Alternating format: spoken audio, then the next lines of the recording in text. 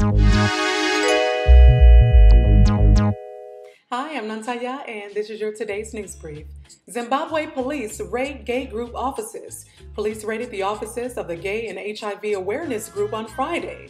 Ellen Chadihama, 34, and Ignatius Mambi, 38, are employees of the Gay and Lesbians of Zimbabwe organization.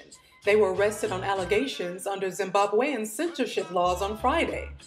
They were said to have posted a letter in their office from former San Francisco Mayor Willie Lewis Brown, criticizing the Zimbabwean president's opposition to homosexuality. Attorney David Hofisi said the two will remain in jail until Wednesday, and he was not allowed to visit them over the weekend. President Robert Mugabe has described same sex partners as, in quote, lower than dogs and pigs, close quote, but arrests of gays are rare in Zimbabwe. Mugabe 86 has been in power for three decades since Zimbabwe gained independence from Britain.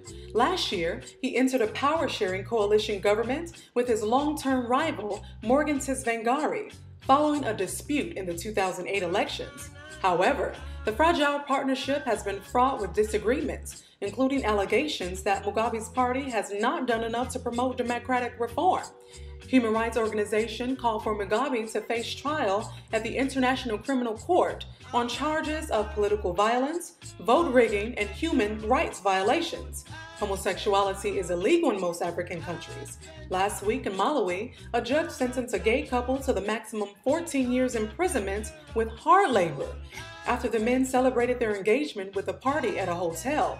In Uganda, lawmakers are considering a bill under which homosexuals could be sentenced to life imprisonment and repeat offenders could be executed. Even in South Africa, the only African country that recognizes gay rights, gangs have raped lesbians. I'm Nantaya, and as always, thank you for watching.